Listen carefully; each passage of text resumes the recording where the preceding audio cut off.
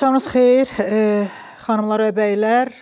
Üçüncü gündür, saat 9-dur və biz artıq yayımdayıq. Beləliklə bu gün səhəri pis bir xəbərlə açdıq. Bizim Laçın istiqamətində bir e, hərbçimiz itkin düşdü. Müdafiə Nazirliyinin verdiyi məlumata görə fevralın 28-i səhər saatlarında Azərbaycan ordusunun əskəri Pənahov Ruslan Eldəniz oğlu Laçın rayonu ərazisində xidməti mövqelər arasında hərəkət edərkən əlverişsiz əlverişsiz hava şəraitində istiqaməti itirərək azıb hərbi qulluqçumuzun tapılması məqsədi ilə dərhal başlanılan axtarış tədbirləri davam etdirilir. Hadisə ilə bağlı ictimaiyyətə deyir əlavə məlumat veriləcək. Birazdan sonra demək ə, birazdan biz telefon xəttinə Eldəniz bəyi qoşuruq. Elə indi qoşuruq. Eldəniz bəy demək ə, Ruslanın atasıdır. Axşamınız xeyir. Axşamınız xeyir. Ə, bu məsələ ilə bağlı oğlunuzun itkin düşməyi ilə bağlı hansı ə, yeniliklər var? Nəsə bilirsinizmi? Xeyr, hələ heç nə bilmirəm. E, getmişdiniz bu gün hardasa sizi çağırıblar, danışmısınız. Ümumiyyətlə onun haqqında nəsə son aldığınız məlumat varmı? Yox, hələ heç bir məlumatımız yoxdur, heç nə elə bizdə belə görək. Yəni əlaqə də saxlanılmayıb, düzdürmü? Hə, indi ordasınız. Aydındır. Bəs necə oldu siz bildiniz? Saat neçədə siz bildiniz bu məsələni? Tə bilmirəm xanım. Yaddaşım e, pozulmuş kimidir bura qalıb. Dedim ondan sonra zəng vurasınız. Aydındır. Aydındır. Təşəkkür edirəm. Təşəkkür edirəm xəttə qoşulduğunuza görə. Bilirəm ki, nə qədər nigaransınız və nə qədər gərginsiniz. Bunların hamısını bilirik. Biz Ruslana görə e, dua eləyirik. E, inşallah e, demək Ruslan tez bir halda, tez zamanda öz ailəsinə qovuşar. Ermənistan tərəfi bildirir ki, Milli Təhlükəsizlik e, xidmətinin oradan bildirirlər ki, demək bizim e, Ruslan Pənahov demək e, onlar saxlayıblar. Çox üzücü xəbərdir bu.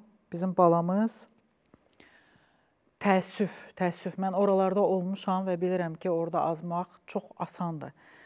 Xüsusən də qaranlıqda saat 6-ya işləmiş baş verib e, hadisə və e, təbii ki, e, orada qaranlıq, duman da olur o, o tərəflərdə. Laçın çox dumanlıdır. Ümumiyyətlə çətin e, xidmət yeridir. Ailədən çəkilişimiz var bizim. Biz onu istəyirik təqdim eləyək.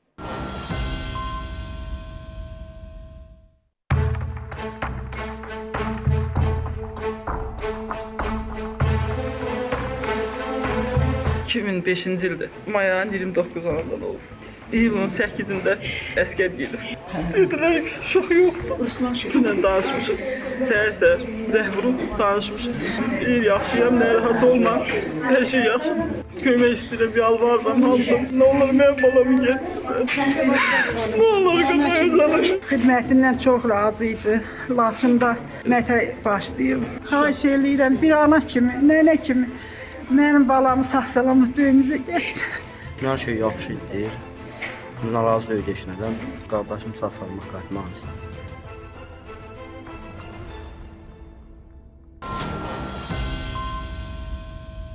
Demək, e, ananın fəryadını görürük, nənənin nigaranlığını görürük. Balamızın 19 yaşı vardı, 20 yaşın içində idi. Yəni e, təbii ki, ətrafda görünür orientirləri itib və yolunu azıb. Çox üzücüdür. Çox üzücüdür bu. Mən əminəm ki, bizim dövlətimiz e, bütün hər şey nə lazımdırsa eləyəcək. Çünki hər dəfə bizim əskərimiz o tərəfə səhvən keçəndə də, yolun azanda da dövlətimiz əlindən gələn hər şey eləyib və bizim bütün hərbiçilərimiz sağ-salamat o tərəfdən qayıdıb gəlib vətənə, Azərbaycana gəliblər. Yəni Bu məsələdən heç bir şübhəm yoxdur ki, Ruslan Pənahov evinə qayıdacaq. Amma istənilən halda o qayıdana qədər hamımız nigaranıq. Ruslan bu dəqiqə hamımızın balasıdır. Xüsusən də 19 yaşı, 20 yaşın içindədir. Uşaqdır. Şair Ramaldanov hərbi ekspert xəttdə olmalıdır. Bəli. Axşamınız xeyir. Abatınız xeyir. Ə, hansısa yeniliklər varmı? Bizim Ruslan Pənahovun itkin düşməyi ilə bağlı yeni informasiya varmı? No, hələ ki informasiya yeni hələ bir e, yenilik yoxdur, ancaq ki e, bununla bağlı artıq e, bunun qaytarılması ilə bağlı bu hansı şəraitdə nə olub istintaq gedir. İndi hər halda da baxacaqlar nə hansı səbəblərə görə nə tərk edib düşüb ora. Yəni hələ zaman çox keçməyib bununla bağlı. Ancaq ki, e, hər halda mən deyim ki, belə şeylər bilirsiniz ki, mütəmadi olaraq olur. Dağlıq ərazisində gecə vaxtı duman e, və indi bu saat hava şəraitini kim o rayonlarda yaşayırsa, o ərazilərə yaxın yerlərdə yaşayırlarsa, bilirlər ki, indi bu saat e, yəni e, məhdud görmə şəraiti çox vaxtı e, havada e, belə deyək üstünlük təşkil eləyir. E, gecə isə e, belə hallar olur, yəni təcrübədən irəli gələrək gecə vaxtı da adam ola bilsin ki, fikirli olur, cığıra fikir vermir, sonra cığırdan çıxır və istiqaməti dəyişir və sonra elə bilir ki, düz gedir və getdikcə o yerdən aralanır. Ümumiyyətlə gecə vaxtı əgər ə, belə deyək, açıq havadırsa, belə ulduzlu havadırsa, yenə də bəlkə də ə, o göyə baxıb hansıdırsa istiqaməti seçmək olar. Ancaq dumanlı havada heç yer nə göy görünmür, nə yer görünmür, belə demək olarsa, əlbəttə azma ehtimalı ə, çoxdur. Ə, ona görə də düşünürəm ki, ə, belə hallar olur. Ancaq ki, indi ə, cinayət işin qaldırılması ermənilər tərəfindən bu vaxtı bundan bağlı elan edilməsi, mən ümumiyyətlə deyim ki, bu əskər ə, hərbi əsir sayılır. Ona görə ki, Azərbaycanla Ermənistan arasında sülh müqaviləsi yoxdur. Biz müharibə şəraitindəyik və hərbi əsirlər də ə, 1949-cu ilin avqustunda, avqust ayında qəbul edilmiş konvensiya, beynəlxalq konvensiya məhz hərbi əsirlərin ə, belə deyək, əsirlərlə bağlı, ə, onların müdafiəsi ilə bağlı ə, çox geniş müəddə müdələ, daha doğrusu geniş orada məlumatlar var bununla bağlı. Ə, ancaq ki, ə, zaman onu göstərir, təcrübə onu göstərir ki, ermənilərə nə konvensiya, nə heç bir şey onlar üçün e, belə deyək, e, onlar bu konvensiyalara e, baxmırlar və bizim indiyə kimi e, orada hərbi əsirlərimiz Ermənistanla tərəfə düşən, e, yəni prinsip cəhətdən konvensiyanın tələblərinin pozulması haqqında çox saylı e, məlumatlar var. Ancaq bir şey var. Yəni bilirsiniz ki, Azərbaycan dövləti dəfələrlə bu ə, bunu göstərir və biz öz əsgərimizi orada saxlayan deyilik. İndi bu saat beynəlxalq ə, müəyyən bir mexanizmalar artıq işə işə başlayıb və mən düşünürəm ki, ə, nətər ki biz o biri əsgərlərimizi qaytarmışıq, yəni bu əsgərimizi də biz qaytaracağıq. Sadəcə erməni tərəfi bunu həmişə alver predmetinə çevirir. İndi baxaq görək bu cinayət işi qaldırıblar. Bu cinayət işinin bunlar nə buna hansı cinayətdə bunu bu, bu əskəri təqsirlandırmaq istəyəcəklər. Yəni mən demək istəyirəm ki, dövlətimiz heç bir əskəri orada saxlayan bil deyil. Aydın məsələdir. İki əskərimizi 32 əskərlə dəyişərək biz bir daha bizim əskərlərimiz və bizim nə qədər qiymətli olduğu, nə qədər dəyərli olduğunu bir daha sübut etmişik. Bəli. Təşəkkür edirəm şair müəllim. Minnətdaram xəttə qoşulduğunuza görə. Elə şair müəllim də yada saldığı kimi biz hər bir əskərimizə görə 16 nəfər e, vermişdi Ermənistan tərəfinə. Yəni 2 əskərimizi alıb 32 nəfəri vermişdik. Yəni e, dəyişiklik eləyəndə biz rəqəmlərə baxmırıq. Əsas bizim vətəndaşımızdır, əsas bizim canımız, ciyərimiz Azərbaycanımızdır. Və e, şair müəllim də dediyi kimi sözünə dəstək məsələ həll olunacaq. Gecə tezi var. Ruslan evinə eşiyinə qayıdacaq. Təbii ki, qayıdacaq. Dövlət hər Azərbaycanlının arxasındadır, xüsusən də hərbçilərimizin arxasındadır. Amma Ə, o uşaq, o Ruslan evinə qayıdana qədər hamımız tikan üstündəyik və hamımız Ruslanıq. Beləliklə materialımıza qayıdırıq. Bizim e, demək gündəlik materiallarımıza qayıtmalıyıq və digahdan məsəl üçün bizim bir materialımız var. Hacı Zeynalabdin Tağıyev küçəsindən. Orda e, demək vəziyyət necədir? Baxın görün nələr baş verir.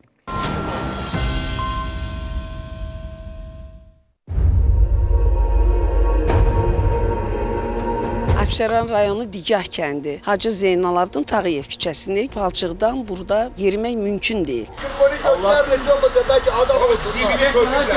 Vəziyyətin nə yerdə olduğu göz qabağında. Bu yollar tamamilə keçilməzdir. Az yaşlı uşaqları məktəbə aparıb gətirə bilmirik. Mən getdim, mən böyüyəm. Bağçaya gedən uşaq necə gedə, gedə bilər bu yolu? Son 2 gün bundan əvvəl müraciət etdim. Bildirildi ki, hal-hazırda bizim əlimizdə material yoxdur. Material yəni bax bu dəmir yanığından gedir söhbət. Yol üçün heç nəzərdə tutulmayıb. Sakinlərin dediyinə görə ki, gəlməyimizi belediyə biləndən sonra dəmirin yanığı şlaqdır adı da. Bir maşın gətirib axşamla ora töküblər. Cəmaət gedib gəlmir. Bax indicə 5 manat verib maşına gəlmişəm Meydabaddan evə. Nə gedə bilirəm, nə gələ bilirəm. Ayaqqabı dözmür, paltar dözmür. Hamı va belə şikayətçidir. Digər kəndidir, hamı tanıyır. Şəhərin 5 kilometrliyində yerləşir. Bizim bu kəndə əncam çəkən yoxdur. Özünüz buradan indi taksi zakaz elən 15 manat yazır şəhərə. Yolumuza baxan yoxdur. Dedilər ki, 2023-cü ilin yarı kvartalında düzəldəcək. Amma düzəltmirlər. Nə kommunal yeri var, kanalizasiyası var, heç bir şey yox. Su var, görürsünüz də nə gündədir. Allah iki qız neçə bir yıxılıb burada palçığın içinə.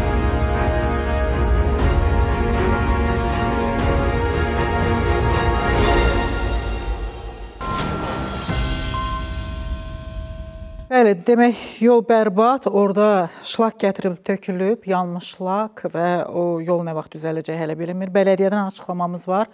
Onu izləyək. Yolun müəyyən hissəsi asfalt örtüyünə ehtiyac var. Havaların yağışlı keçdiyi vaxtlarda salalara bəzən su yığılma halları olur ki, bununla da əlaqədar həmən küçədə, ərazidə yaşayan sakinlərimiz bizə nümayəndəliyə, bələdiyyə müraciət eləyib. Bələdiyyə imkanları hesabına orada qreyder vasitəsilə hamarlama işləri aparılır. Yollara çınqıl, şebel, qrabil tökülərək əraziyə yayılır.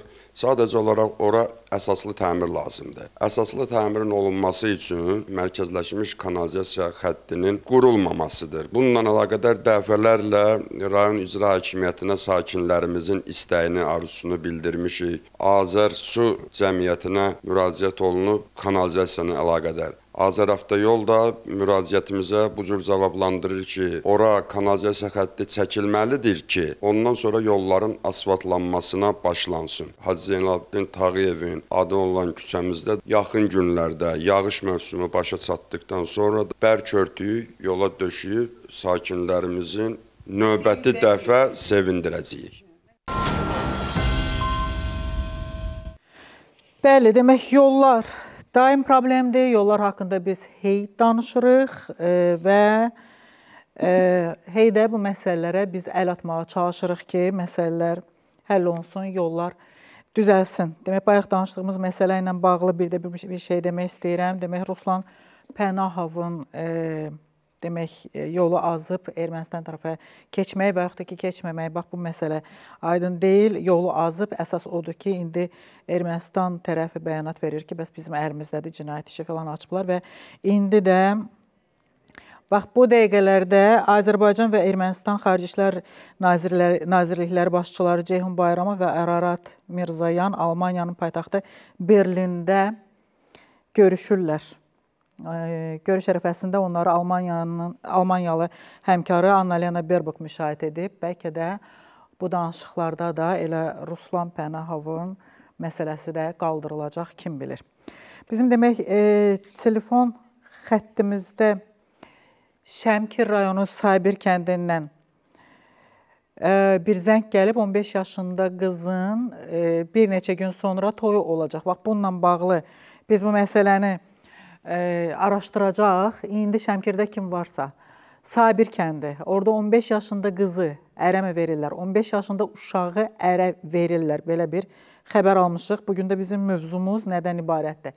Biz bu gün təhsildən yayındırmaqdan danışacaq. Təhsildən yayındırmağın bir e, yolu da e, ərə verməkdir, ailənin qurmağıdır və təbii ki, bu daha çox qız uşaqlarına aiddir. Çünki bəylər e, artıq 18 yaşını tamam eləyəndən sonra evlənir. Amma bizim qızlarımız, bizim qız uşaqlarımız, uşaqlarımız 18 yaşından kiçik uşaqlarımız evləndirilir və bununla da e, təhsildən də yayınırlar, uşaqlar uşaqlıqlarını da yaşaya bilmirlər. Bir də təkrar eləyirəm. Şəmkir rayonu Sabir kəndində 15 yaşında uşaq ərə verilir. Şəmkir rayon Sabir e, kəndindən kim varsa bizə zəng vurun və proqramımızın ikinci hissəsində biz sizlə əlaqə saxlayacağıq.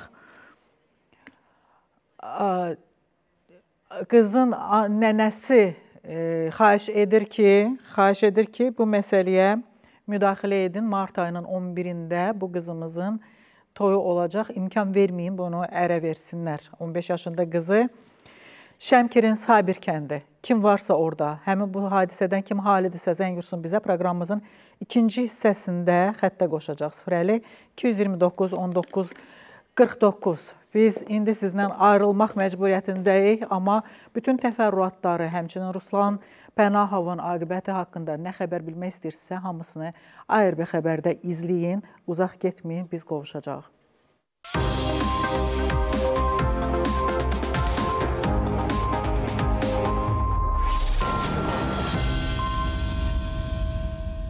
Axşamınız xeyir xanımlar və bəylər. Biz bu gün qız uşaqlarının daha çox təhsildən yayınması haqqında danışacağıq.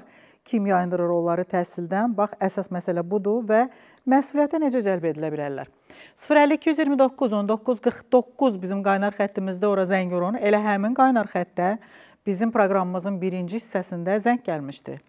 Demək, Tovuzun Eyyublu kəndində yaşayan adını hələlik deməyəcəm Çünki e, bu biraz e, qızımızın 15 yaşı var. Birazdan nənəsi desə onu e, səsləndirəcək. Nənəsi qoşulacaq efirə. Həmin bu 15 yaşında qızın nənəsi zəng vurdu bizə efirə və dedi ki, mənim nəvəmi ərə verirlər. 15 yaşında uşağı ərə verirlər və martın 11-i toyu olacaq. Bunun qarşısını alın. Biz də müvafiq qurumlarla əlaqə saxlamışıq. İndi onlarla birazdan canlı bağlantıda yaradacağıq. Beləliklə Şəmkirin e, Sabir kəndindədir bizim indi bu qızımız. Orda e, yaşayır. Artıq bir neçə gündür və e, demək nənəsi ilə babası həyəcan təbili çalır və burdan da anası Gülnarə xanıma mən müraciət edirəm. Ehtimal ki, onun soyadı Gülnarədir, e, Yusifovadır. Gülnarə Yusifova. İstəyirəm ki, bax o da xəttə qoşulsun nənə ilə, baba ilə eyni zamanda. Müvafiq orqanlarında nümayəti, nümayəndəsi birazdan efirə qoşulacaq. Baxın, biz bu mövzunu e, qoyanda biz bilmirdik ki, ümumiyyətlə belə bir e, geri dönüş olacaq. Mən istəyirəm birinci bizim ekspertlərimizi təqdim edim, daha sonra çünki onlar müzakirədə iştirak edəcəklər. Beləliklə, xanım Daşdəmirova Təhsil İnkişaf Fondunun İdarə Heyətinin sədr müavini Və Leyla Cahangirova müstəqil ekspert xanımlar ikiniz də xoş gəlmisiniz. Salam. Nənəsi demək həmin qızımızın nənəsi İlhamə xanım xəttədir. Bəli. İlhamə xanım vaxtınız xeyir. Axşamınız xeyir. Hal qəziyə nədir? Nə baş verib? Bu qız bizim Eyüplü kəndində məktəbdə oxuyurdu. Tovuzun Eyüplü kəndi. Hə, Tovuzda Eyüplü kəndində. Aha. Bunu da anası eşitdi ki, Zəyimdə bir oğlana bir oğlana verib, ailə qurublar 28 yaşında oğlan. Oğlana. Nə vaxt Oradan olub? Oradan da məktub mət, 2 ay olar. 2 ay olar. Ondan sonra da hə, məktəb bunu məktəb bunu çağırdı. Məktəb bunu məktəb uşağı istədilər. Şu həmin oradan da çıxartdı qızı, anası Günara xanım. Uşağı çıxartdı, getdi öz baldızının oğluna verdi. Bir dəqiqə, bir dəqiqə. Demək 2 ay başqa yerdə olub qızımız, hə. düzdürmü? Bəli, bəli. Başqa bir oğlana qoşulub qaçmışdı, yoxsa necə? 2 ayda elə bir ki, e, e, məsələn, o bir ay onun evində qalıb, bir ayda e, baldızın bibisi oğluna veriblər də qızı. Bir ay başqasında olub bu qız, indi də bir ayda bibisi oğlunun yanındadır. Bəli, elə? bəli, bəli. İndi martın 11-i toyudur. İndi ikisi ikisində də atası ilə anası razılıq verib özləri yola salıblar. Gedib yoxsa necə olur? Bəli, bəli, bəli, özləri. Birincidə də toy olmuşdu. Birincidə anası e, elçi gəliblər, veriblər də o, o Elçi gəlib toysuz, nişansız falan götürüblər, aparıblar, elə? Hə, özləri həmən günü, həmən günü elçi gələn vaxtı qızı götürüb aparıblar. Hara aparmışlar? Hansı kəndidir? Sabir e, Zəymə, Zəymə. Zəymə kəndi. Bəli, Zəymə. Şəmkirin kəndinə. Zəymə kəndinə. Bəli, Zəymə, hə. İndi Ondan sonra e, demək qızı qaytarıblar və indi Şəmkirin Bəli. Sabir kəndinə ərə veriblər. Sabir Bibisi kəndinə. Bibisi oğluna, bibisi oğluna. Bu qız biraz orada göndərirlər qar, biraz Allah burada göndərirlər qar. O qız yaxşı oxuyan qız idi. Necə? Yaxşı, Oxuyan qızdır. oxuyan Bəs özünün razılığı olubmu qızın? Yox. Uşaq deyil, 15 yaşında qız nə razılığı? Aydındır. Bəs qohumlar müdaxilə eləməyiblər və yaxud da ki, icra hakimiyyətinə, hüquq mühafizə orqanlarına bildirməmisiniz bunu? Yox, onu ki məktəb bildiribdi, məktəb çağırdı Zəymə verəndə. Zəymdən də gəl- məktəb gəldi, sonra da məktəbdən çıxartdılar qızı 9-cu sinifdən. Aydındır. Məktəbdən çıxartdılar. Çox yəqin ki, hansısa dövlət strukturu işə qarışmışdı, elə? Bəli, bəli, bəli, məktəb işə qarışmışdı. hətta ki. Aydındır. Atası hardadır? Atası nə fikirləşir bu uşaq haqqında? Atası da ordadır, bacısı gildə qalır. Həmin həmin o evdəki uşaq gedib o evə, düzdürmü? Bəli, bəli, bəli. Öz bacısının oğluna verib qızı. Bəli, bəli, bəli. Səbəb nədir ki, bu qızı belə tez başdan eləmək istəyirlər? Mən bilmirəm, ey Allah haqqı bilmirəm. Mənim o qıza yazıq ürəyim ağrıyır. Allah Bu haqqı ürəyim e, ağrıyır. 15 iki, yaşında iki dəfə qız ailə- dalbadal və indi e, ata da gedib bacısının evində qalır. Nədir məsələ? Evdə Hə, çörək qız da yoxdur. ordadır. Yəni ki, bilirsiniz nəyə görə? Yəni ki, atasının yanındadır bu qız. Halbuki bizim kənddə söyləyirlər ki, martın 11-i, 12-si toyudur. Hə, demək buna don geydirirlər ki, atası ilə qonaq gedib qalıb orada. Amma əslində Hə, deyirlər ki, toy olacaq. Elə? Bəli, hə. Yəni toy olmağı barədə tam olaraq dəqiq informasiya yoxdur. Dəqiq infa- Oğlan işləpəlidir dədəsi. Ana başdı Sabir kətdəndir. O qızı ora apardılar ki, dədəsi də güya dədəsinin yanındadır da bu. Halbuki bütün kənd söylür ki, mən o günləri qızın o vəziyyətini mən gördüm. Deyə bilmirəm. Ancaq e, desələn bir Qızın özü ilə danışmısınızmı? Qız nə deyib? Qız heç nə, qız bizi bizə imkan vermirlər ki, biz qızla danışaq. Anası gir. Aha, aydındır. Birinci dəfədə atası, anası razılıq verib və götürüb bir ay saxlayıblar. Hansısa oğlan götürüb Bəli. aparıb saxlayıb yanında, eləmi? Bəli, cəmdə 28 yaşlı oğlanım. Çəkiliş olsa aparıb evinə də göstərərəm hamısını. Aydındır. Aydındır. Biz Hə. indi birazdan e, müvafiq qurumlarla əlaqə saxlamışıq. Onlar xəttə çıxacaq və biz bu məsələ ilə məşğul olacaq. Neçənci sinifdə edirəm, o 15 qıza yaşında neçənci neçənci də sinifdən çıxarılıb uşaq? Neçənci sinifdən çıxarılıb məktəbdən? 9-dan. 9-u bitirəndən sonra elə? Hə. O yaşı uyğun deyil axı, onun 15 yaşı var. O ailə qədri ailə bilmirlər. Ailə nə olduğunu bilmir o qız. Aydın məsələdir. İstənilən halda bu cinayətdir. Azərbaycan qanunvericiliyinə görə bu cinayətdir. Anası da cinayət daşıyır, atası da cinayət daşıyır. Bir də Bəs ailənin içində münasibətlər necədir? Ata, ana, övlad necədir münasibətlər? Onlar atasıyla, ana, qızla, anasıyla atası ayrılmışdılar. Neçə ildir gəlib mənim yoldaşımın evində ev tikib orada qalırdı. Kim? Qız, qızın anası, Aha. Gülərə xanım. Hə.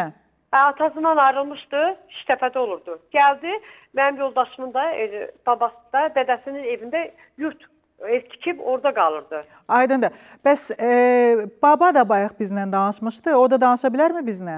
Hə, danışa bilər, verirəm bir dəqiqə. Hə. Zəhmət qardaşım. Axşamınız xeyir. Axşamınız xeyir. Adınız nədir? Mənim adım Yusufov Şahin Müseyibov. Şahin bəy. Mən belə başa düşürəm ki, İlhamə xanım nənəlikdir, düzdürmü? Bəli, bəli. Hə, siz doğma babasısınız bu qızın. Bəli, bəli, bəli. Bu qızdan savayı o evdə neçə övlad var? Yəni o ailədə neçə övlad olub? Mənim iki qızım, bir oğlum oldu. Sizin yox, e, nəvənizin, indi ərə verilən nəvənizin bacısı, qardaşı varmı?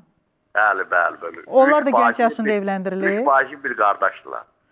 O bacıları gənc yaşda evləndirilib. Balacadırlar. Onlar ən böyüyü budur. Daha kiçiklər, aydındır. Bəs siz bu məsələyə müdaxilə eləmək istəmisinizmi ki, e, etməyin, eləməyin, Mən, doğru deyil. mən deyirəm, mən deyirəm, bağışda. Gətirlər, Şahin bəy. Mənim qızımı götürüb qaçırlar. Şahin bəy, bu məsələ ilə bağlı gedib ərizə yazmaq lazımdır. Siz ərizə yazmısınızmı?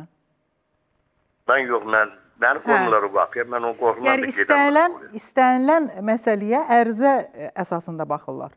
Rəsmi müraciət olmalıdır. Sözlə dedim elə keçmir. İstər e, polisə, istərsə də ki, e, icra hakimiyyətinə hökmən gedib e, ərizə yazmaq lazımdır ki, bu məsələyə xahiş eləyirəm, bir əncam çəkəsiz, çəki düzən verəsiz bu məsələyə. Əl atasız. Çünki bu cinayətdir. 15 yaşında uşağı heç kimin ixtiyarı yoxdur ki, ərə versin. Şahin bəy, təşəkkür edirəm, minnətdaram. Minnətdaram. E, xüsusən də burada bir şeyə diqqət çəkmək istəyirəm ki, bizim bu qızımız demək e, BBC oğluna ərə verilir. Ehtimal, bax bu deyirlər ki, indi BBC BBC-nin evində də onun oğluna ərə verilir. Atasını da aparıblar ora ki, örtbasdır eləsinlər ki, sanki bura qonaq gəliblər. Bu dəfələrlə efirlərdə deyilib, dəfələrlə deyilib ki, qohum, yaxın qohum nigahlarından xəstə uşaqlar doğulur. Dəfələrlə deyilib ki, bu etik deyil, ki, bu biabırçılıqdır, olmaz. Ən azından ona görə ki, uşaqlar xəstə doğula bilər. Ehtimalı 1-ə 5 artır, 1-ə 10 artır. Olmaz, bütün həkimlər bunu deyirlər. İndi bununla bağlı bizim indi Daxili İşlər Nazirliyinin nümayəndəsi ilə əlaqə saxlayacaq, birazdan xəttə qoşacaq ona, onu və məsələni müzakirə edəcək. Beləliklə xanımlar, bir daha xoş gəlmisiniz. Demək biz indi burada görürük ki, fakt olaraq qızımızı təhsildən atası, anası yayındırır. Adətən necə olur? Kim yayındırır? Axşamınız xeyir Ülbirə xanım. İlk öncə bu nənəyə və babaya təşəkkür eləmək istəyirəm. Çox sağ olsunlar ki, göz yumurlar bu ə, cinayətə və səslərini çıxardırlar, səslərini qaldırırlar və hətta cəsarət edib sizə belə zəng eləyiblər. Bu klassik bir hekayədir. Adətən qızların təhsilindən yayın, yayındıran məhz onun valideynləri, ana və atalardır. Və təhsildən yayındırılmanın səbəblərindən ən birincisi də erkən nigahdır. Erkən nigah cinayətdir. Yəni 15 yaşında qız Vasi həm vasitədir, həm də səbəbdir. Həm vasitədir, həm də səbəbdir. Bəli, əlbəttə. Həm vasitədir, həm də səbəbdir. Və ə, insanlar bunu edirlər, valideynlər bunu edirlər və müxtəlif bəhanələr gətirirlər. Maddi səbəbdən, ailə münaqişəsi və yaxud da ki, müxtəlifdir səbəblər. Sadəcə olaraq ə, anlamalıdırlar və bu dəfələrlə biz bunu həm də ictimaiyyətləşdirmişik, efirlər, ə, media vasitəsilə ki, bu bir cinayətdir. Yəni cinayət məsuliyyətində nigah haqqında ə, qanunda yazılıb ki, 18 nigah 18 yaşından sonra olmalıdır. Bəzi hallar var ki, orada 17 yaşına müəyyən qurumların icazəsindən icazə var. Amma 15 yaşında qızın ailə qurması, həm də bu halda 2 nəfərə belə başa düşdüm, 2 dəfə fərqli insanlara bu artıq cinayətdir. Bu bəzi səbəblər var ki, ona görə ailə qurar. Biz bunu dəfələrlə studiyamızda Hı -hı, müzakirə bəli. eləmişik. Dədə e, demək, nənə baba ölür, ölüm yatağındadır. Bəli, bəli. Toy görmək istəyirlər. Toy olandan sonra nəsə başlayırlar güp-güp puldamağa. Heç kim hallardır və bu e, istisna hallardır. Yəni amma heç kəsə haqq vermir ki, 17, 16, yəni, 15 yaşında. nənə baba toyu görəcək deyə necə insan ərə vermək olar? Nənə baba day o biri nəvələrinin toyunu görüb, övladlarının toyunu görüb. Hökməndir ki, bu balaca 15 yaşında qızcığazın toyunu görsün. Uşağı verirsiniz ərə, kiminsə qoynuna salırsınız, kiminsə yatağına salırsınız. Yəni bunu hər hər şey açıqlığı açıqlığı ilə demək daha adam yorulur. Normal ifadələrlə bunu deyirik, amma siz bilirsiniz ki, ərə verəndə nə baş verir. 15 yaşı var onu necə qıyırsınız? Olmaz axı belə. Demək ən çox ə, valideynlər ə, bu məsələdə rol oynayır, düzdürmü? Əlbəttə, bəli. Valideynlər və qanun. Bəs elə olurmu ki, qızların özü də desin ki, hə mən elə indi ərə getmək istəyirəm. Qızların özünü əlbəttə indi ola bilər, heç kəs buna heç nə e, yəni deyə bilməz. Əlbəttə elə bir hallar bilər, olar. Qanun deyə bilər. Amma bəli, qanun deyə bilər və valideynlər uşaqlarını istiqamətləndirməlidirlər. Bu 15-13 yaş aralığı qızların, uşaqların yeniyetməlik dövrüdür, emosional dövrüdür. Bunların ə, psixi ə, durumlarının qeyri-stabil olan bir dövrüdür. Əlbəttə indi uşaq gəlib desə ki, mən ailə qurmaq istəyirəm, valideyn ona hə deyə bilməz. Bunun psixoloqa göstərmək lazımdır, söhbətlər eləmək lazımdır, müəllimlərlə, psixoloqlarla, valideynlə, özü ilə. Yəni hər belə ailə qurmaq istəyənə biz ə, səbəb verə bilmərik. Orda psixoloq bir... lazım deyil. Orda qəşəng bir dənə 30 durursan aşağı, deyirsən ki, 15 yaşında ər olur. Necə ər? 15 yaşında nə ər? Elə şey olmaz axı. Psixoloji məsələ deyil. Bax belə nümunələri görürlər. Əli. Kimsə çıxır, hansı media qurumu Bəli. gedir, çəkir ki, nə bilim 17 yaşında ərə getdi. Ay bunlar xoşbəxtlər, bunların e, qarınlarında nə bilim e, milçəklər uçur. Nə deyirlər ona? Kəpənəklər. Kəpənəklər uçur. Hə, kəpənəklər uçur qarınlarında. Ay xoşbəxtlər, sevgi belədir, elədir. O birisi də baxır deyir ki, mən nədən kimdən əskəm ki? Fatayını, fata qoyun başıma elə bilirlər bəlkə elə orada da qutarır da. Amma 25 yaşa çatanda fikirləşirlər ki, vay, iki əlləri olur, bir başları olur ki, bilsəydim ki, mən gedərdim təhsil də alacaq, gedərdim peşə də alacaq. Ali təhsil Tamamilə e, hədəf deyil. Bəli. Peşə də alacaq gedərdim. Bəli. Həm əlimin bir çörəyi olardı. Bilərdim ki, valla ən çox insanın arxasında dayanan, mən bu yaşa gəlib çatmışam, hörmətli xanım xanım. Ən çox e, insanın, qadının arxasında duran peşəsidir. Tamamilə nə atadır, deyirsiz. nə anadır. Onlar əl çəkəndə peşə adama çörək verir, gündəlik çörək verir. Ona görə insanın əlinin peşəsi olmalıdır. Peşəsi ali təhsil yenə deyirəm, heç hədəf deyil. Heç e, yəni onun qarşınızda ali təhsil almadı, dursun getsin ərə. Peşəsi olsun, çörəyi olsun ki, sabahları ər ölə bilər, ər atıb gedə bilər, ər xəstə ola bilər. Amma peşə adama həm, həmişə ərdir. Bəli. Yanlış demirəm ki. Xalası xəttədir bizim bu qızımızın. Buyurun, eşidirəm sizi. Birazdan qoşacaq. Aha, xala da indi qoşulur xəttə, deyəcək ki, o da öz tərəfindən deyəcək nə deyirsə, xala demək ana tərəfdəndir və ana tərəf deyəsən bu məsələyə daha çox qol qoyur ki, bu qızımız ərə getsin. Demək, xanım, xanım, qızları e, təhsildən yayındırmamaq üçün nə kimi tədbirlər görə bilərik? Bilirsiniz, Dövlət olaraq. Bəli, bayaq e, danışıldı ki, Daha doğrusu qızların təhsildən yayınmasının qarşısını almaq üçün. Mən düşünürəm ki, burada önəmli faktorlardan biri də təhsildir. Bayaq da dediniz ki, bəzən olur ki, qızlar özü də bu yolu seçirlər, erkən nigah istəyirlər. Amma düşünürəm burada da qızların günahı yoxdur. Çünki onların böyüdüyü mühit çox vacibdir.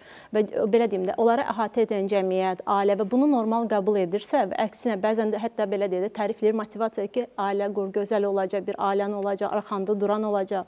Və bu onda qızlara da e, belə beyninə təsir edir ki, bəli, bu düz yoldur. Və bu halda həqiqətən də qızların bir günahı yoxdur. Və bu zaman təhsil onlara həm də bir iqtisadi azadlıqdır bilikdir. Tamamilə doğrudur. Onlar öz hüquqlarını bilmirlər. Bəlkə də heç bilmirlər ki, bu qeyri-qanunidir ya da olma belə bir şey nə hansı Ay, fəsadları var. Bas-bas bağırırıq. Hər gün danışırıq e bundan. O deyir ki, bu normaldır. Və bəzən bu savadsızlıq, təhsildən yayınma onların bu hüquqlarından belə deyim də məlumatlı olmamağı, hüquqlarını istifadə etməməyini bəli, səbəb olur. Siz onu deyirsiniz. Mən bax televiziyaya yaxın bir jurnalist tanıyıram. Deyir 12 yaşından fikirləşirdim ki, mən gəlinliyi nə vaxt geyinəcəm. 15 yaşında deyir Bakı kəndlərində yaşayırdı. Mənə deyir elçi gəldi. Elə sevinirdim ki, mən durub gedəcəm, ərə mənim dəyərim olacaq. Çünki daim bu mövzular ətrafında danışır. Deyir amma nənəm dedi, deyir bax belə çəkdi, o tuzdurdu aşağı, otur yerində. Oxumaq iş, sonrasına baxarıq. Telefon xəttində qızın e, demək ərə verilən verildiyi ehtimal edilən qızın xalası Şahnaz xanım. Şahnaz xanım vaxtınız xeyir. Hər vaxtınız xeyir. Şahnaz xanım, e, sizin bacınızın qızı indi e, baldızının evindədir, düzdür? Daha doğrusu bibisinin Xeyr. evindədir, düzdürmü? Xeyir, xeyir. Hardadır? Öz anasının yanında Əyyublu kəndində. Hansı kənddə? Əyyublu, Tovuz rayonu Əyyublu kəndində. Tovuzun Əyyublu kəndindədir. Bəli, xan, qız bir dəfə qaçırılıbdı, əlindən alınıbdı. E, e, ata anasının evindədir, atasının evində İrva şeydən Şəmkir rayonu Sabirkənd kəndində. Qız yalan məlumatdır.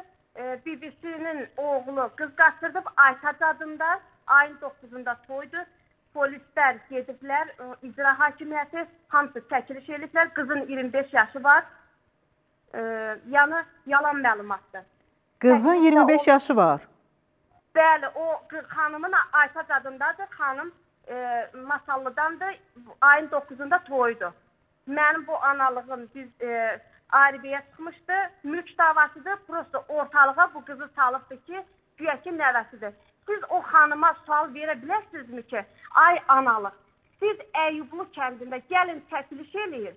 Gəlin baxın, görün ki, o analıq bizim qapıda oturubdumu, qonşularla da bir əlaqə saxlayır. Mənim orada atama sual verin ki, siz nəvənizin halına yandığına siz öz qızınızı 12 yaşında ərə verirsiniz. Gəlib bu kənddə Əyyublu kəndində maraqlana bilərsiniz. Bir mənim 26 yaşım var. Mənim bugünkü gün mənim o efirə çıxan atam məni 12 yaşında atamın himayəsindədir. Niyə siz arvad boşamış qızı qızınızı arvad boşanmış oğlana ərə verdiniz. O analığa sal verin ki, ay analıq siz Şəmkir rayonunda e, da yəni mağazinlərdə işləyir o xanım. O xanıma sal verin ki, sizin balalarınız hardadır? İnternet evinə qoyub da deyir ki, e, şeydir, mənim nəvəmi 15 yaşında ərə verirlər. O babaya sal verin ki, ay baba, siz qızınızı neçə yaşında ərə verirsiniz? 12 yaşında arvad boşanmışa dönük 40 kəndini mənə ərə verib. Gəlib bir Gəlin, gəlin biz e, biz onsuz da Şəmkirə gələcəyik. Gəlin problem yoxdur. Gəlin mənlə Biz gələcəyik ora. Gəlin bir də aydınlaşdıraq. Qızın bibisinin oğlu sal verin ki, sizə qurban olum. Məni boşladılar ki, mənim ürəyim part, mənim bacım savadlı bir qadındır, 4 uşaq anasıdır. Ev təmizləyir, onun əziyyət çəkir, 4 uşağı var. Baxa bilmir. Qızını verib atasına, iki qızı da 9 sinifdə oxuyur. Hazırlığa bir qoya bilmir, məktəbin e, sosial yardım almır. Atasına verir. Mənim Şahnaz xanım, Şahnaz xanım, Şahnaz xanım, xahiş edirəm. Gəlin bir də bax bizim məsələni tam olaraq aydınlaşdıraq. Həmin o qızın ki deyirlər 15 yaşı var. Onun bibisi oğlu kimdən evlənir dediniz? Onun bibisi oğlu 25 yaşında Aytaç adında bir xanımdır. Mənim bacımın qızının da adı Aytaçdır. Aha. Ondan evlənmiş. Xanımın da adı Aytaçdır. Mənim analığım prosto mülk davasına çıxmışdır. Aydındır. Bir dəqiqə bu mülk davasını qoyaq qırağa. İndi siz Aha. deyirsiniz ki, sizin bacınızın qızının adı Aytaçdır və indi o Tovuzun Əyublu kəndindədir. Düzdürmü? Bəli, bəli, gəlib 8 Şəmsi rayon polis... Qızımızı xəttə qoşa bilərikmi? Çünki onun nənəsi İlhamə xanım deyir ki, biz o uşaqla danışa bilmirik, uşaq qorxub. Danışa bilərikmi biz o qızla və yaxud da ki, atası ilə? Bir dəqiqə, uşaq yatır, problem yoxdur. İstəyirsən bir dəqiqə çəkilişlə evdə yatdığı yerdə sizə WhatsApp-la atım. Yox, xəttə qoşulsa yaxşı olar, ya anası, ya atası. Mən özümün şəxsi evim var, mən öz evimdə yaşayıram. Bacım da atamın yurdundan, atamın icazəsinlə. Qız boşanıb gələndə ata evinə gəlir də. Aydındır. Atamın evindən tən yarı böldürülüb, ə, atamın evi ayrı, bacımın evi ayrı. Biz atamızı evdən çıxartmamışıq. Biz o mənim bacım Aydındır. Aydındır Şahnaz xanım. Şahnaz xanım təşəkkür edirəm. Bizim daha bir zəngimiz var. Onu da e, qəbul etməliyik biz. Demək, e, Daxili İşlər Nazirliyinin nümayəndəsi Nurlan müəllim xəttədir. Mətbuat xidmətinin nümayəndəsidir. Nurlan müəllim. Birazdan o xəttdə olacaq. Bu biraz e, qalmaqallı məsələdir. Biz indi danışa-danışa baxırıq, görürük ki, bunun içində iddia edilən e, demək e, mülk davası var. Xüsusən də bizim kanalımızda Xoşqədəm Hidayət qızının da verilişində bu məsələ müzakirə olunub. Amma orada görünür qarışıqlıq, bizə görə qarışıqlıq o iki addadır. Aytaç həm başqa bir qızdır e, və Aytaç həm də 15 yaşında qızdır ki, onun ərə verilməsi e, iddia olunur. Biz buna aydınlıq təbii ki, gətirəcəyik. İndi xanım xanım, siz bayaq dediniz ki, ümumiyyətlə təhsilə cəlb eləmək lazımdır, düzdürmü? Sözsüz.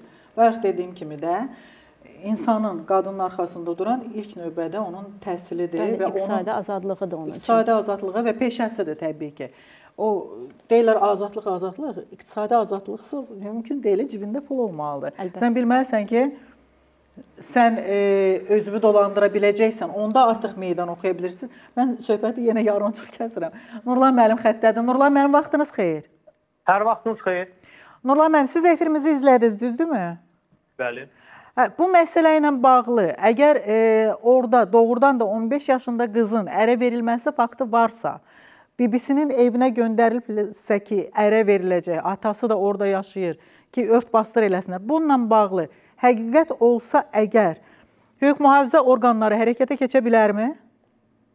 Ümumiyyətlə ə, bu iddianın səsləndirilməsi elə ə, hüquq mühafizə orqanlarının ə, hərəkətə keçməsinə səbəbdir və bu ictimaiyyətdə belə açıqlanırsa və bunun ehtimalı belə varsa, artıq hüquq mühafizə orqanları araşdırma aparacaq və ə, onu da bildirim ki, artıq bununla bağlı müvafiq polis orqanı tərəfindən araşdırma aparılır və ə, araşdırma nəticəsində əgər məlum olarsa ki, burada hər hansısa bir formada hüquq pozma halı müşahidə olunursa, ə, artıq həmin şəxslə bağlı qanun çərçivəsində ə, tədbirlərin görülməsi diqqət mərkəzində saxlanılacaq.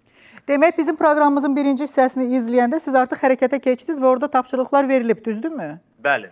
Hə, demək sabaha biz artıq sizdən e, geri dönüş ala bilərikmi ki, orada nə baş verir? Çünki biz də biraz qarışıqdıq. Araşdır bütün ə, bu məsələlər araşdırma predmetidir və araşdırma nəticəsindən asılı olaraq ə, əmələ hüquqi qiymət veriləcək.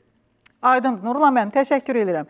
Minnətdaram belə e, cəld geri döndünüz və məsələyə aydınlıq gətirdiniz. Minnətdaram. Biz demək İlhamə xanımı dindirdik, nənəsini, e, babasını uşağın Şahin e, bəyi və Şahnaz xanımı, qızın e, xalasını. İndi mən belə başa düşürəm ki, əgər bu hadisə doğrudan da e, yeri varsa bu hadisənin baş veribsə bu hadisə indi bu səs-küydən sonra ola bilsin ki, qız o evdədirsə gətiriləcək geriyə, əgər evlilik e, səbəbi ilə ora göndərilibsə. Yox, əgər bu məsələ e, demək e, doğru deyilsə, bibisi oğluna ərə vermir, verilmirsə, Nurlan müəllim məni indi buradan eşidir, bilirəm ki, proqramın davamına baxır. Orda birinci dəfə ərə verilmə faktı var. Birinci dəfə hansı oğlanın yanında gedib bir ay, iki ay bundan əvvəl qalmağı var ki, valideynləri onu ora göndərmişdi ki, bu xalası da e, bunu boynuna aldı ki, hə onu biz götürüb gətirmişik geriyə. Birinci dəfə gedib vermişik, sonra götürüb gətirmişik geriyə. Bax bu fakt var. Burada həm məsuliyyəti valideynlər daşıyacaq, həm də məsuliyyəti kimə ki ərə verilmişdi, o kəs e, daşıyacaq. Ona görə bu gecə həmin adamın yatağına elə bil ki, bax belə köz qoyulacaq rahat yata bilməyəcək. E, demək, e, bir də qayıdıram xanım, xanım bu məsələ ilə bağlı sizə. E, təhsilin hansı növünə cəlb eləyək? Deyək ki, bu uşaq 15 yaş var məsəl üçün, hə bunu çıxardırlar, gətirirlər. Tam təhsilin hansı növünə? Ali təhsilə getməyəcək. Necə eləyək? Necə maraq oyadaq bu qızda ki, bu təhsilin daha acı getsin? Yaxud da ki, peşənin daha acı getsin? Ər dağca getməsin, hələlik heç olmaz. Sizin də qeyd elədiyiniz kimi burada peşə təhsili önəmlidir, amma e, bu sahədə bir çox layihələr həyata keçirilir, belə islahatlar olur və əsas qeyd eləyə bilərəm ki, əgər biz 2000-ci 2020-ci illərlə rəqəmləri müqayisə ilə görərik ki, həmin dövrlərdə peşə təhsilinə cəlb olunan tələbə qızların sayı 400 civarında idisə, artıq bu rəqəm 3 dəfə artmışdır. 1300-ə çatmışdı. Neçə il ərzində? 2 il ərzində. Ay maşallah. Əla rəqəmdir. Bəli, bu sahədə bir çox yəni, rəqəmin özü çox böyük deyil, amma 3 dəfə artmağı artıq bu Bəli. göstəricidir. Və 9-cu 9-cu sinfi bitirənlər, universitetə daxil olanların rəqəmlərini müqayisə ilə görərik ki, hər birində artım müşahidə olunur və artıq hətta belə deyərdim, xaricdə təhsil necə müraciət edən qızlarda belə sayında artım vardır. Və biz bu sahədə məsələn təhsilin inkişaf fondu olaraq da bir çox layihələr həyata keçiririk ki, məsələn hal-hazırdakı layihəmiz 15-40 yaşlı qız və qadınların e, belə ödənişsiz əsaslarla İKT biliklərinin təmin olunmasıdır. Bu yönümlü olaraq e, digər belə deyək, əmək bazarında ən çox tələb olunan təlimlərlə təchiz olunur.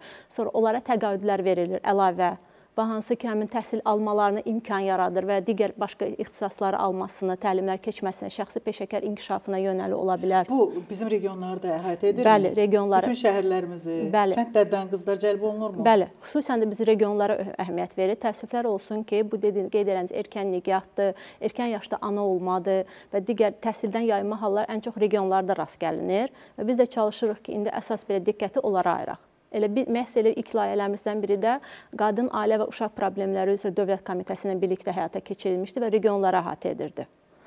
Uğurlu və, və biz layihələrimiz dövründə görürük ki, həqiqətən də regionlarda çox potensiallı, savadlı, oxumaq istəyən həqiqətən qızlarımız çoxdur. Hə, özləri hiss eləyirsiniz bəli, ki, hə, çoxdur. Bəzən onlarda var. bəli, çox Aha. böyük həvəs var. Yəni biz müraciət sayına son layihəmizə 674 tələbə müraciət eləmişdir hələ bu bir layihəmiz üzrə göstəricidir. Əla rəqəmdir. Bunun e, daha çox promotionunu aparmaq lazımdır. Sizin telefon nömrələriniz varsa, Bəli, qaynar xəttiniz varsa deyək burdan səsləndirək. Nədir? Bizim mən sizə məlumatları sonra verəm. İstəsəniz siz yəqin ki, YouTube kanalında əlavə edə bilərsiniz. Təhsilin İnkişaf Fondu saytına daxil olarlarsa, orada bütün məlumatlar var. Rəsmi müraciət də edə bilərlər. Təhsilin İnkişaf Fondu sayt var.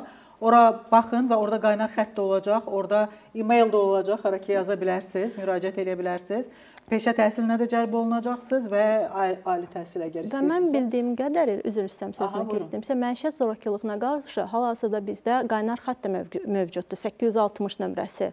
860 bu deyəsən Qadın, ailə, ailə və uşaq problemləri üzrə Dövlət Komitəsinin birgə fəaliyyəti əsasında yaradılmış qaynar xətti ki, hansı ki, məişət zorakılığına əziyyət çəkən qadınlar, qızları müraciət edə bilərlər, onlar dəstək olunur. Bu məişət zorakılığına daxildirmi? erkən Əlbəttə. ailə. Ə, Məişət zorakılığına daxildir. Çünki bu yaşda uşaq 15 yaşında uşaq bax bizim e, studiyamıza Tural müəllim gəlmişdi komitədən və o dedi ki, biz artıq erkən nigah demirik, biz deyirik uşaq nigahı. Bəli. Çünki insanları çirindirmək üçün, e, diksindirmək üçün yalnız bu yol var ki, deyəsən ki, uşaqları evləndirirsiniz. Çünki 18 yaşına çatmadan bu uşaqdır. 16 yaşında e, hansısa hüquqları yaranır, amma 18 yaşında həddi buluğa çatır. Necə hesab edirsiniz? Qızların özünə təhsilə deyək ki, e, və yaxud da ki, peşəyə yönümlü deyil də, necə təsir eləyə bilərik? Bu qız hər hansı bir təhsilin dalınca getmir, hər hansı bir peşənin dalınca getmir. Marağı yoxdur, istəmir. Necə təsir, təsir eləyir o qızlarımıza ki, ər davası döyməsinlər Mhm. və yaxud da ki, ərə verəndə imtina eləsinlər. Biz ər davası desək biraz qızlarımızın xətrinə dəyər. Yəni mən inanmıram ki, hansısa bir qız ər davası döyər. Sadəcə olaraq 15 yaşında valideynlər deyirlər ərə gedirəm. Yəni eləsi va- də var. Valideynlər ola bilər ki, hansısa bir şəkildə təzyiq eləyə bilərlər. Biz Ülvira xanım təhsili populyarlaşdırmalıyıq, təhsili təbliğ etməliyik, təhsilin gözəlliyi haqqında danışmalıyıq. Təhsilin icbari təhsil 9-cu sinifə qədərdir. O 9-cu sinifdə qızların bir çoxusu ilişib qalırlar, davam eləyə bilmirlər, növbəti mərhələyə keçə bilmirlər. Uğurlu rol qadın modellərimizi təbliğ eləməliyik. Uğurlu qadınlarımızı nümunə kimi göstərməliyik. Uğurlu qadın siz. Uğurlu e, qadın siz. Yəni efirdə görürlər, Bəli. aparıcıları görürlər. Bəli. Məmurları görürlər. Fondlardan gələnləri, xanım xanımı görürlər. Bax sizi e, müstəqil ekspert görürlər. Hər şey göz qabağındadır. Başa düşürlər ki, bu yerlərə gəlib çatmaq üçün təhsil almaq lazımdır, peşə dağarcı getmək lazımdır. Bu təsir eləmir. Yəni nə cürsə biz görünür e, uşaqlara yox, onların valideynlərinə birinci valideynləri tərbiyə eləməliyik görünür. Əlbəttə. Ə, Layihələr haqqında danışmışkən Təhsil Nazirliyinin qrant layihələri haqqında da danışmaq istəyərdim. Hər il Təhsil Nazirliyi artıq bu il 7-ci ildir ki, Təhsil Nazirliyi qrant elanı verir və ə, məktəb pedaqoji heyəti imkan yaradır ki, onlar layihələr yazsınlar və bu layihələrin böyük əksəriyyəti qızlara, qadınlara, ə, erkən nigahlara aid olur. Ə, Və bu vasitə ilə mən məsləhət görərdim ki, həm müəllimlərə layihələr yazarkən fokus olaraq nəinki şagirdlər, həm də onların valideynlərini götürsünlər ki, biz erkən nigahlar haqqında uşaqlarla danışırıq, amma burada dayanmamalıyıq. Biz həm də valideynləri cəlb eləməliyik. Anaları, ataları, nənələri, babaları dayanmadan bu barədə danışmalıyıq. Bu barədə danışırıq, amma görünür ki, az danışırıq. Hələ də bu faktların olmağı biraz utanc vericidir. Nə cürsə bəli biz təsir eləməliyik. Çünki erkən nigahdan biz burada danışmışkən, e, biz əslində erkən nigahı bu gün nəyə görə müzakirə edirik? Ona görə ki, erkən nigah təhsildən yayındırmağa səbəb olur. Ərə verirlər, təhsildən yayınır. Halbuki əslində 9-cu sinifdən e, çıxa bilər məktəbdən, düzdürmü? Peşə təhsilini davam edə bilər. Peşə təhsilini Bəli. davam da edə bilər. 9-cu sinifdən ümumiyyətlə məktəbdən də çıxa bilər yəni. Bəli. İstəmirsə ümumiyyətlə oxumağı. Amma bir çox hallarda qızlarımız oxumaq istəyir, məktəbə getmək istəyir. Çünki hətta belə bir şey var da, məsəl üçün kənd yerində deyək ki, şəhərdə əyləncə var, hə? Amma kənd yerində məktəb həm də belə sosial bir qurumdur. Uşaqlar gör görüşür, bir-biri ilə ünsiyyətləri olur. E, balaca şəhərlərimizdə gedəcək başqa yerlər yoxdur. Ailə e, institutumuz elədir ki, qızlara çox azadlıq vermirik. Vermirik, vermirlər. Ona görə də məktəb həm də bir görüşmək yeridir də ki, e, ünsiyyətləri olsun. Heç olmasa bu qızlara imkan verin. 11-ci sinifə qədər bunlar oxusunlar, məktəbə getsinlər, təhsillərini alsınlar. Ondan sonra oxumaz, oxumaz. Azərbaycanda nə deyirlər? Deyirlər ki, heç olmasa deyir ali təhsili alsın ki, heç olmasa uşaqlarına ev işində e, evdə dərslərində kömək eləyə bilsin. Amma bax bu məsələ ilə də bağlı, bu 15 yaşlı qızın ərə verilməsi e, ehtimalı ilə də bağlı. Bax bu məsələ get-gedə hər dəfə daha da çox qabarır. Çünki e, danışmağın siz dediyiniz kimi Leyla xanım heç bir xeyri olmur hələlik. Xeyri o cür olur ki, biraz təhsilə gəlirlər, demək e, müraciət eləyirlər, amma bu kütləvi şəkildə olmur. Mən istəyirəm hər ikinizdən qısa 30 saniyəlik çağırış eşidim bizim gözəl qızlarımıza, sizə oxşamaq istəyən qızlarımıza istəyirəm bir çağırış edəsiniz. Belə deyim də bir ifadə var ki, sən bir qıza təhsil verəndə bir xalqa təhsil vermiş olursan. Çünki o qız sabahın anasıdır və o da gələcək savadlı nəslin yaranmasına səbəb olacaqdır. Mən qızlarımıza demək istərdim ki, həqiqətən təhsil alsınlar, oxusunlar. Yəni bacardığı qədər. Bəzən çətin olsa da, buna necəsə müasir dövrdə, xüsusən sosial şəbəkələr və ya internet vasitəsilə imkan tapmaq olur və bu sabah sizin öz ayaqlığınız üzərində durmağınıza kömək olacaq. Siz üçün bir qalxan olacaq. Sizi həm cəmiyyətdən qorusun, həm də bu cəmiyyətdə öz yerinizi tapa biləsiniz. Buyurun Leyla xanım. Təşəkkür edirəm. Oxumaq gözəldir qızlar. Öz ayaq üstündə durmaq çox gözəldir. Oxumaq sizə qanatlar verəcək. Yüksəklərə qalxacaqsınız. Sizi hamı tanıyacaq, sizə qibtə eləyəcəklər və siz Hörmət edəcəklər. Hörmət edəcəklər, sizi sayacaqlar. Siz öz məktəbinizə, məktəbinizdən çıxıb sabahsı gün savadlı kadr olaraq öz məktəbinizə geri dönsəniz, hamı sizə alqış edəcək. Oxuyun, yolunuzdan dayanmayın. Əgər sizin kimsə qarşınızı kəssə, ananıza və və yaxud da ki, müəll- müəllimlərinizə, psixoloqa, direktora müraciət edə bilərsiniz və bundan başqa fondlara müraciət edə bilərsiniz. Yəni sizin üçün bu günlərim çox gözəl şərait yaradılıb. Oxuyun və heç vaxt dayanmayın.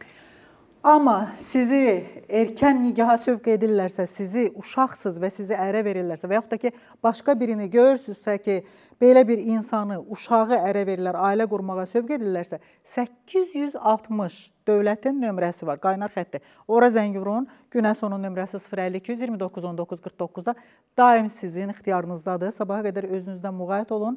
Salamat qalın.